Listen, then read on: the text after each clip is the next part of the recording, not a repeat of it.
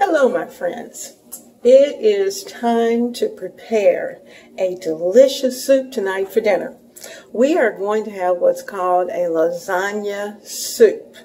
And we're going to, I think I'll throw on the name a lazy day because this particular soup will cook for hours. It can go in your crock pot or your, or if you want to do it fast, you can do it in your Instapot. But I think the slower you prepare it, it will give the vegetables time to mellow and to get happy with each other. And it's going to be a delicious soup. I love lasagna, but what I don't like is uh, the preparation. All those layers and preparing the sauce and preparing the this, that, and the other and trying to get everything just right. Well, this is going to be my solution where I'm going to have the lasagna flavors, but I'm going to do it in a soup. And I'm going to do it in a way that does not require all the labor intensive layering and it's going to take taste equally as good. Now that's not to say that I might not do lasagna every now and then for the family, but tonight is not that night. So get ready we're going to have a nice warm soup. It's cold outside. When it's 12 degrees and below that, it's pretty chilly and you need something to warm your body. So this is going to be it. Stay with me. Started with tonight's lasagna soup. My pan is, uh, my pot is nice and hot. And um, I'm going to add just a little bit of cooking oil. This is just vegetable oil, just to keep it from burning, just a swizzle. And a swizzle is about a tablespoon. And then I'm going to add in one pound of ground chuck. Now, as I put that ground chuck in, I'm going to break it up and I'll continue to chop as it cooks. But as much breaking that you can do in advance, it just saves a little bit of time because we don't want any chunks in our soup. We want it to be uh, broken up. Okay, that gets that part started. Now I'm going to get a flat bottom wooden spoon and that's what I'm going to go in and I'm going to chop while this is cooking. All right. I have uh, washed my hands. And let me get my flat bottom spoon. Got the flat bottom spoon. And while this is cooking, I'm just going to chop it up.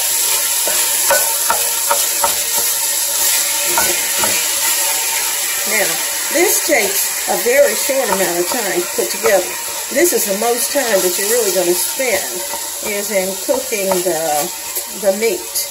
And if you have some already prepared in your freezer, which sometimes I do, but uh, most oftentimes I'm doing just what you see right here. I'm trying to cook it and then putting it into whatever it is.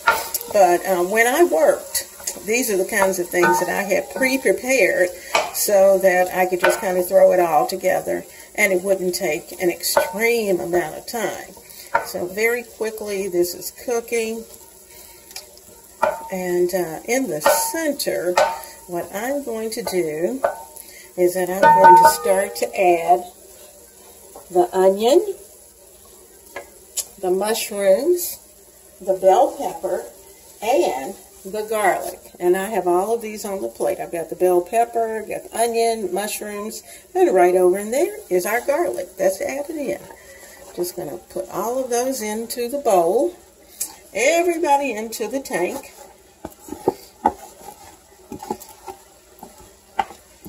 Okay.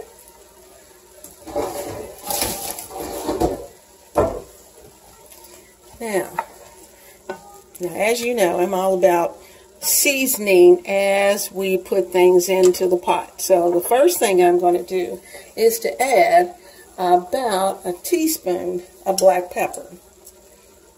Now, if you like less, then obviously you can put less black pepper. but we typically put more pepper and a little less salt. So I have the teaspoon of pepper, and I'm going to add in about, because this is a large soup, I'm going to add in about a teaspoon of kosher salt. And you notice that kosher salt that the it's not real fine, but it'll be enough to uh, to it will break down as the soup cooks. So there's our our onions, our mushroom,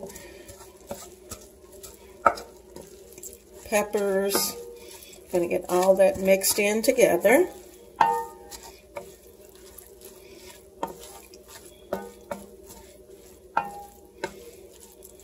And I'm going to let that cook for probably at least five to six minutes together. Salt, the pepper, and the garlic. And I put the garlic in with this because I didn't want the garlic to burn. Now, I'm going to add some Italian seasoning. You can do Italian seasoning. You can do pesto, whichever you prefer. All right, I'm adding in a half a tablespoon of Italian seasonings. Half a tablespoon. And I'm going to add in a couple of shakes of, you know, my favorite, pepperoncinos. And it's not there, as I said, to, to make it hot, but it does give a certain amount of flavor in the background that you are not going to want to be without. So, we're going to let those come together. Going to give it a good stir.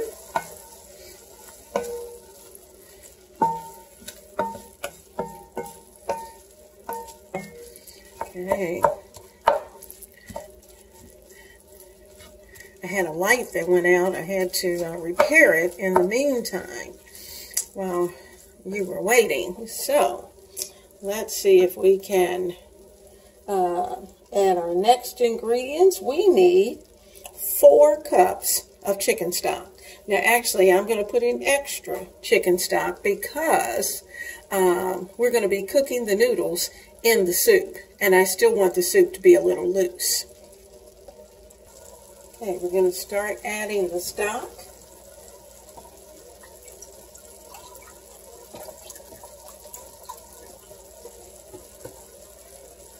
One cup.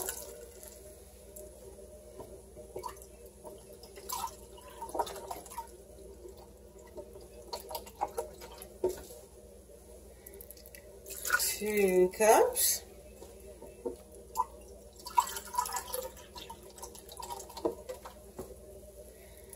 Three cups.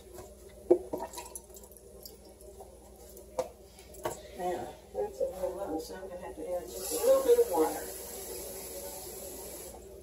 Okay, this the fourth cup, and I'm going to see how that does. And like I said, I may add, it may be even tomato juice. I may opt to add a little bit of tomato juice um, toward the end. So, we're going to let that come up to a boil. I've turned the fire up just because I'm preparing this right now. And I'm not, for me, I'm not going to put it in the crock pot. I'm going to let it simmer on the stove.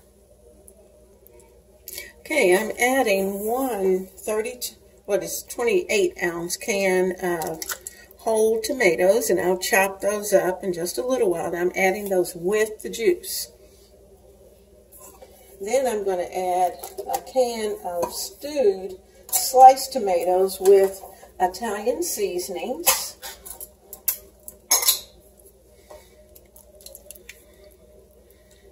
Like I said, I'll use my wooden spoon and get everything all chopped up. And I'm going to put in two cans of the stewed tomatoes.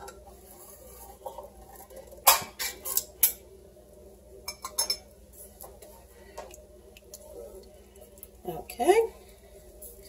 Now, with my spoon, I'm going to go in. You can do it with a spoon. You can do it. I do it in here because, to be honest with you, I have a white shirt.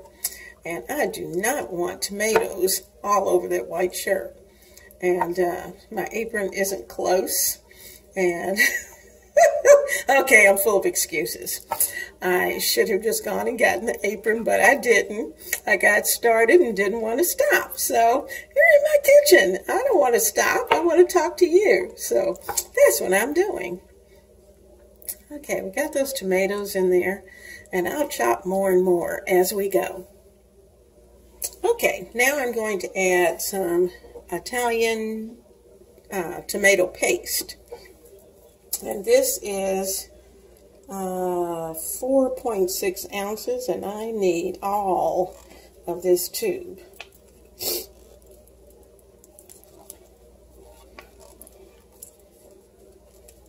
Notice I'm folding it down as you go. It's the only way to kind of guarantee that you get most of what's in that tube out.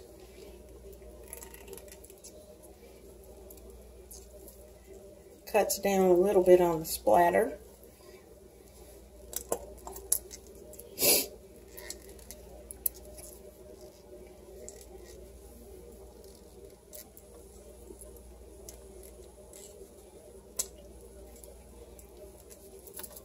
Okay, I think that's going to be enough.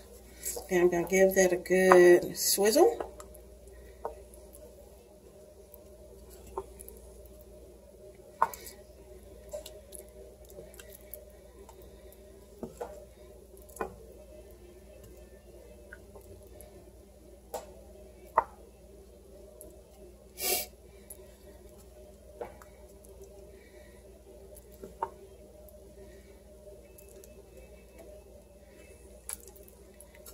I'm going to do a little bit of a taste because I want to see if I need more salt.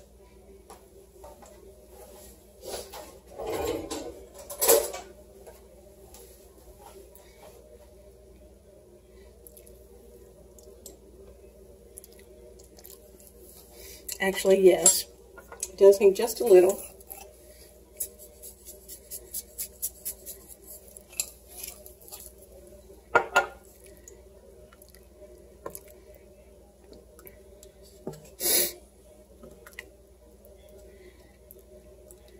Okay, I'm going to put the top on this, and it's going to cook for the next two hours, low and slow. At the end of those two hours, I'm going to drop the, the noodles in and uh, let it cook another 15, 20 minutes. And then we'll be ready for dinner. How about that? Right on time, right at 5.30. How about that?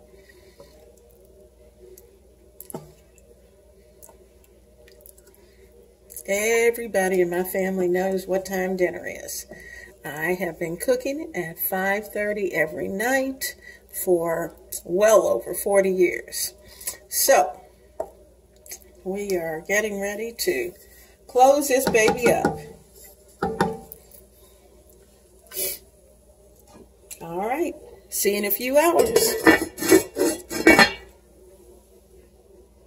Well, our soup is ready and are almost ready anyway.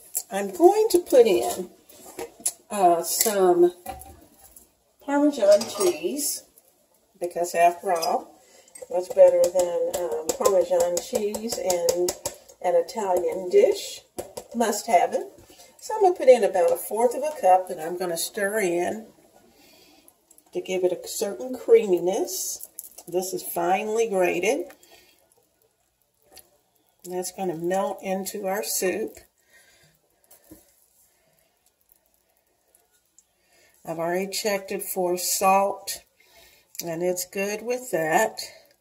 Then, the part that's going to get you, I know you're thinking, now, if this is lasagna, you have to have lasagna noodles. Now, I did not want to use regular lasagna noodles because that's another reason why we don't do a lot of lasagna because the big guy really isn't that thrilled with um, the lasagna noodles. So what I decided to do was to use some fettuccine noodles. And I'm going to break these into our soup. And they're going to serve as our lasagna noodles. I'm bringing this back up to a boil because we're going to cook these noodles right here in the soup.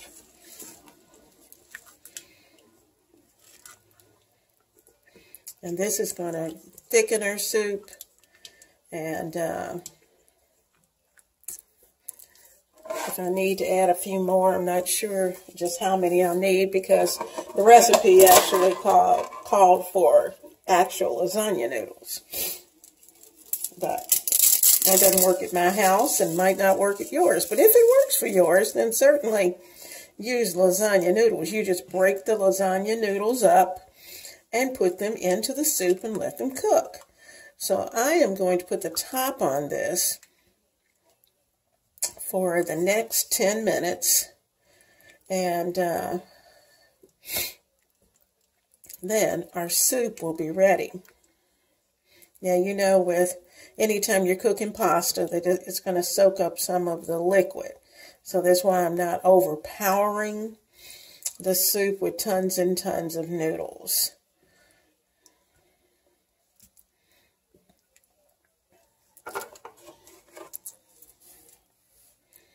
Trying to be careful because, after all, it is a soup.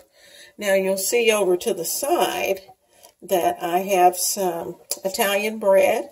And what I've done is to sprinkle on some uh, Italian five cheese, uh, an Italian five cheese mix that I'm placing on there. And um, I had started out with cheddar cheese and thought, no, let's go with the five cheese mix. So that's what I'm going to use. I'm going to put them in the oven, get them nice and toasty. And hopefully at that point, we'll be ready to serve our soup. See you then. Now, for the last five minutes or so, just because I do not want this to stick, but I do want it to, to bubble, and if I stop long enough, it will start to bubble. You'll see the bubbles. But I want to um, continue. I've got the bottom of this spoon on the bottom of the pan so that I know that there is absolutely no sticking going on, especially since I've added cheese to um, give it that creaminess and to add that taste of Italian. And uh, the uh, noodles are doing fine. They're cooking. And I've got the bread in the oven. And uh, it's looking good. It's looking good. Look at that. Huh. Delicious. So that is coming together very well. So I'm just going to continue to stir. And uh, I'll check the noodles for their doneness in just a little while. And of course, dealing with noodles, you do want to continue to move them so that they won't stick together a clump.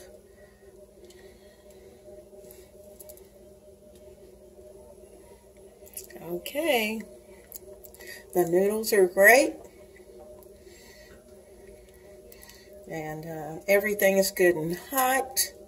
So that when I start to dip this soup out, not one corner of it will be cool. And um, I'm going to check the bread to make sure that it's toasty. Let's get it out of the oven. It smells good. Okay, my little cheese toast are ready. And uh, so we're just ready for dinner. I'm going to turn it down just a bit, and I'm going to start to serve up the plates. Now, so you're going to plate, you're going to ladle up your soup, and then put right in the center some Italian cheese. Are you ready? Let's go. Whew. It's good and hot. Does that not look wonderful? Oh, that looks so good. Let me wipe this off. Clean it off a little bit. Okay, we get some cheese. This is Kraft Italian. Kraft Italian in the center. You get my spoon. Mm, I am ready. Let's see what we can do. Oh, yes. Oh, it's nice and hot.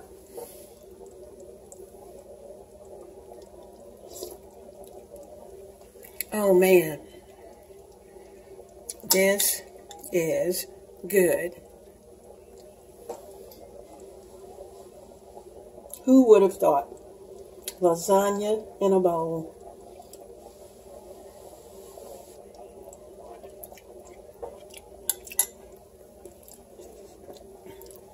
I love it. So, guys, hate to tell you, but dinner is served. And I am getting ready to go and sit down and have dinner. Have a blessed evening.